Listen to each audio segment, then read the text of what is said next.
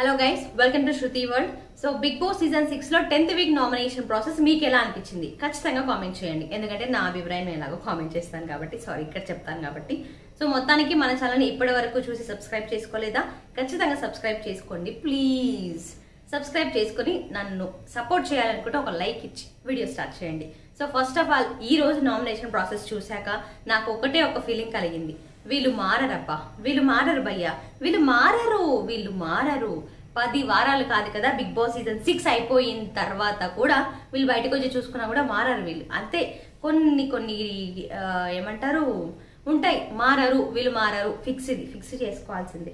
ఈ కంటెస్టెంట్స్కి నామినేషన్స్ విలువ తెలియదు. నామినేషన్స్లో ఏ పాయింట్స్ కరెక్ట్గా వెళ్తుంది అనేది తెలియదు బట్ నామినేషన్ పాయింట్స్ గురించి మాత్రం వెనకెళ్ళి వీళ్ళు మాట్లాడుకుంటారు. నామినేషన్స్ అనేది ఒక అస్త్రం లాంటిది బిగ్ బాస్ హౌస్లో ఆ నామినేషన్లలో మనం మాట్లాడకున్నా అంటే నార్మల్ టైంలో మాట్లాడకున్నా నామినేషన్స్ టైంలో మాట్లాడి హైలైట్ అయ్యి ఖచ్చితంగా మనం ఏంటో మన పాయింట్ ఏంటో పెట్టడానికి ఒక మంచి ఏమంటారు అవకాశం నామినేషన్స్ అనేది. దాన్ని యూజ్ చేసుకోవట్లేదు హౌస్ మేట్స్ అనిపించింది. నామినేషన్స్ని పర్ఫెక్ట్గా యూజ్ చేసుకుంది ఎవరు? ఒక కంటెస్టెంట్ మీకు గుర్తుకు రావాలి రైట్ ఎస్ మిత్రా శర్మ. ఎంత బాగా నామినేషన్స్ అని యూస్ చేసుకుంది. Because of the nominations only అంటే ఆమె నామినేషన్లో రేస్ చేసే వాయిస్ వల్లనే చాలా మందికి తనేంటో అర్థమైంది. తన క్యాపబిలిటీ ఏంటో అందరికీ అర్థమయ్యే విధంగా చేసింది. అది నామినేషన్స్ పవర్ అంటే. బట్ ఆ పవర్ని ఎవరు యూస్ చేసుకోవట్లేదని నాకు అనిపించింది. సో మొత్తానికి ఈ రోజు నామినేషన్లో ఎవరిది మంచిగా అనిపించింది ఎవరిది అబ్బా వేస్ట్ మళ్ళీ ఇదే రీజన్స్ తీసుకొచ్చారు అని అనిపించింది. చూద్దాము. సో ఆల్మోస్ట్ ఉన్నదే ట్వెల్వ్ మెంబర్స్ ఆ ట్వెల్వ్ మెంబర్స్లలో అందరికీ అందరూ సేఫ్ రీజన్స్ చెప్తున్నారు. అందరికి అందరూ పక్కోడ్ రీజన్ కాపీ కొట్టేస్తున్నారు. మనం ఎందుకు కష్టపడ్డాము? పక్కోడ్ ఎగ్జామ్ ఎలా కష్టపడి రాస్తాడు కదా? అది చూసి కాపీ కొట్టేస్తే అయిపోతుంది అని అనుకుంటున్నారు. బట్ వాళ్ళ ఎగ్జామ్ రాసినంత మాత్రాన వాళ్ళకున్న నాలెడ్జ్ అయితే మీకు రాదు కదా? అది అర్థం కాదు వేస్ట్ సో నామినేషన్స్లలో చూసుకుంటే మనకు నైన్ మెంబర్స్ నామినేట్ అవ్వడం జరిగింది. సో ఈ నైన్ మెంబర్స్కి ఎవరెవరు నామినేట్ చేశారు? ఫస్ట్ ఆఫ్ ఆల్ నామినేషన్స్ ఎవరు వ్యాలిడ్ అనిపించాయి? శ్రీ సత్యది వేస్ట్ నామినేషన్స్ అనిపించింది. బాలాదిత్యని లాస్ట్ వీక్ నువ్వు నన్ను నామినేట్ చేసావు కాబట్టి నేను ఇప్పుడు నామినేట్ చేశాను. ఇది అసలు కరెక్టే కాదు ఈ ప్రాసెసే కరెక్ట్ కాదు వేస్ట్ అనిపించింది. ఇంకా ఈయన అది గేమ్లో కొన్ని వర్డ్స్ యూస్ చేసావు ఈమె ఏమీ అనకుండానే ఆమె అనేసిందా? నాగార్జున సార్ తనని ఏమీ అనలేదు అని ఒక పాయింట్ మైండ్లో పెట్టుకొని నేను కరెక్ట్ అని అనుకుంటుంది శ్రీ సత్య. అదే మిస్టేక్ మళ్ళీ నామినేషన్స్లో కూడా ఈయన నామినేట్ చేసి మళ్ళీ తప్పు చేసింది.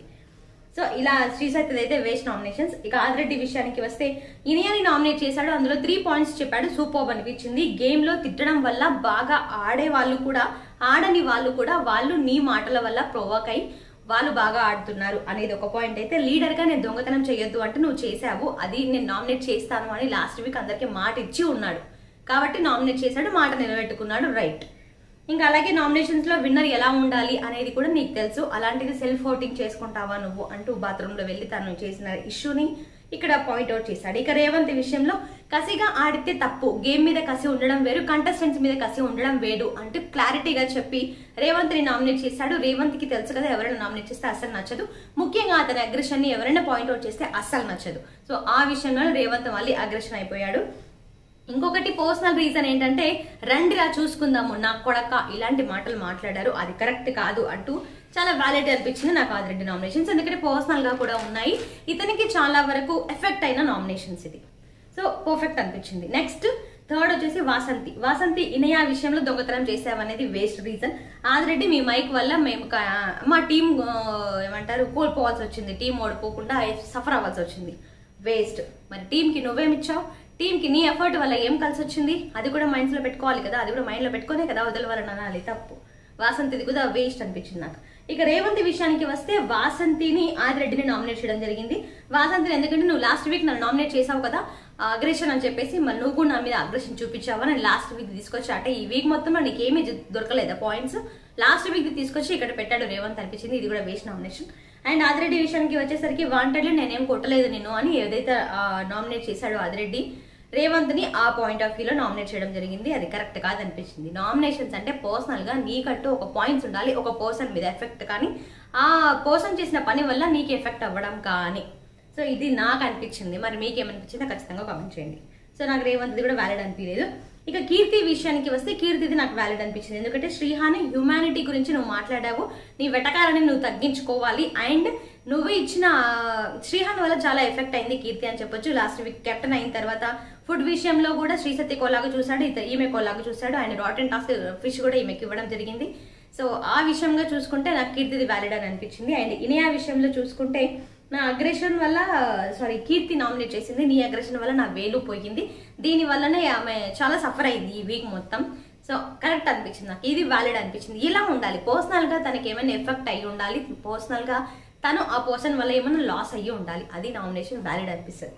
ఇక నెక్స్ట్ వచ్చేసి బాలదిత్యది బాలాదిత్యది కూడా నాకు బాగా అనిపించింది. శ్రీహాన్గా శ్రీహాన్కి నామినేట్ చేశాడు. నువ్వు ఇదైతే నన్ను వర్స్ట్ పర్ఫార్మర్గా సెలెక్ట్ చేసావో నాకు అది కరెక్ట్ కాదనిపించింది. వర్స్ట్గా నేను డిజర్వ్ కాదు. ఇంకా డిజర్వ్ క్యాండిడేట్స్ ఉన్నారు.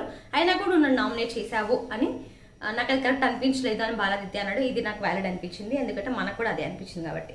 అండ్ ఇనయా విషయానికి వచ్చేసరికి గెలిచే అవకాశాన్ని కూడా నువ్వు కోల్పోయావు. ఇక్కడ ఇనయా మాత్రం హైలైట్ పాయింట్ రేస్ చేసింది.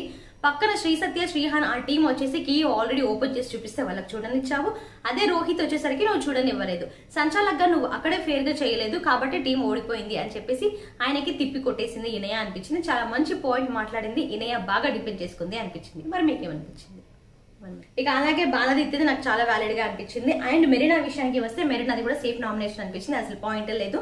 మెరీనాకి పాయింట్ ఉంటే మాత్రం పర్ఫెక్ట్ పాయింట్తో వస్తుంది. పాయింట్ లేకపోతే మాత్రం అసలు పాయింట్ లేదు అనిపిస్తుంది. సో అలా ఎందుకంటే ఆల్రెడీ నామినేట్ చేసింది. మీరు కంటెంటర్స్గా మమ్మల్ని సెలెక్ట్ చేసినా కూడా ఆ మైక్ ఇష్యూ వల్ల నాకు మైనస్ అయింది అంది. అది కరెక్ట్ కాదనిపించింది నాకు. సో ఇక్కడ ఆల్రెడీ ఒక మంచి పాయింట్ మా- మాట్లాడాడు. అదేంటంటే ఇక్కడ ఏదైనా చేయాలి అంటే బీబీని నామినేట్ చేయాలి బిగ్ బాస్ని నామినేట్ చేయాలి. ఎందుకంటే బిగ్ బాస్ తప్పు చేశాడు అది ముందే అనౌన్స్ చేసి ఉంటే నేను టీ షర్ట్ని తీసి పడేసేవాని కాదు మైక్ పడేది కాదు సో అది ఎఫెక్ట్ అయ్యేది కాదు గేమ్కి కానీ టీమ్కి కానీ. సో ఈ రకంగా చూస్తే బిగ్ బాస్ నామినేట్ చేయాలి అన్నది కరెక్ట్. ఇంకా నెక్స్ట్ వచ్చేసి ఈయన దొంగతనము నాట్ ఫెయిర్ అని చెప్పేసి మెరీనా నామినేట్ చేసింది. నాకు కరెక్ట్ అనిపించలేదు. అంటే పర్సనల్గా లేదు ఏం రీజన్ సో మెరీనాది కూడా నామినేషన్ కరెక్ట్ లేదు. ఇక్కడ రాజు ఆలోచిస్తే అంత కొ- కొంచెమైనా వీళ్ళందరితో కంపేర్ చేస్తే బెటర్ అనిపించింది. ఈయనని నామినేట్ చేశాడు. ఎందుకంటే మన ముగ్గురం మాట్లాడుకున్నప్పుడు నువ్వు నా దొంగతనం చేయలేదు అని చెప్పావు. అండ్ పర్సనల్గా నేను వచ్చి అడిగినప్పుడు నువ్వు దొంగతనం చేయలేదు అని చెప్పావు. బట్ తర్వాత వచ్చి అడిగినప్పుడు నేను చేశాను అని చెప్పావంటే నేను అడిగింది క్లాత్స్ గురించి స్ట్రైప్స్ గురించి. నేను స్ట్రైప్స్ దొంగతనం చేయలేదు. జస్ట్ నేను కుట్లు మాత్రం ఇప్పాను ఆ విషయంలో నేను క్లారిటీ ఇచ్చాను అని ఇనయ అంది. సో గేమ్ పరంగా మనం మాట్లాడుకున్నాం కాబట్టి నువ్వు అది చేయడం కరెక్ట్ కాదు అని చెప్పేసి రాజు మాట్లాడాడు. అండ్ శ్రీహాన్ లాస్ట్ వీక్ నువ్వు బాలాదైతే నామినేట్ చేసావు కదా ఏమని? అదే పూల టాస్క్లో నేను అడిగాను.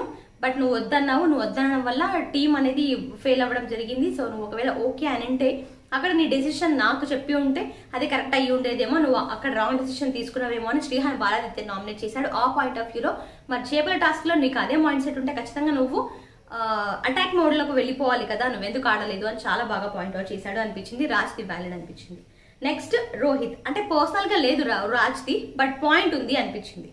ఇక రోహిత్ అయితే పర్ఫెక్ట్ అనిపించింది. రేవంత్ని నామినేట్ చేశాడు. అగ్రెషన్లో నా లాంగ్వేజ్ మీద నువ్వు మార్క్ వేసావు. అంటే నీకు లాంగ్వేజ్ రాదు లాంగ్వేజ్ అర్థం కాదు అని చెప్పేసి అన్నావు.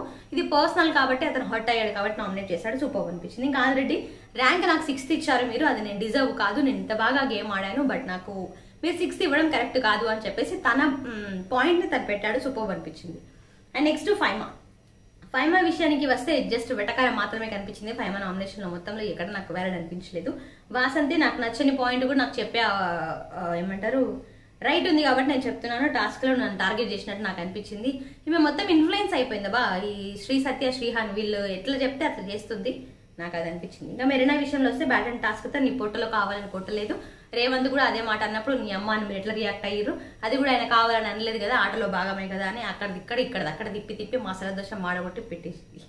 ఇది కూడా నాకు వ్యాలిడ్ అనిపించలేదు. ఇంకా మొత్తానికి వచ్చేసరికి ఇక్కడ శ్రీహాన్ శ్రీ సత్య రేవంత్ వీళ్ళు మాట్లాడుకుంటున్నారు. ఎందుకంటే వీళ్ళ ఇచ్చిన కీలోనే కదా ఫ- ఫైమా వెళ్తుంది. సో అదే మాట్లాడుకుంటున్నారు. మీరు చే- చేసుకునే జోకులు ఏదో మాకు కూడా చెప్తే నేను కూడా అవుతాను. బిగ్ బాస్ మంచి స్ట్రాంగ్ కౌంటర్ ఇచ్చిండు. నెక్స్ట్ శ్రీహాంత్ కీర్తిని ఈయన అని ఈయనకి వీళ్ళిద్దరు తప్ప ఇంకెవరు దొరకరు. వాళ్ళిద్దరిని నామినేట్ చేస్తాడు. ముఖ్యంగా ఈయన ఏం పెద్ద రీజన్ లేదు కానీ నువ్వు అన్నమాట. మరి ఈయన అన్నమాట?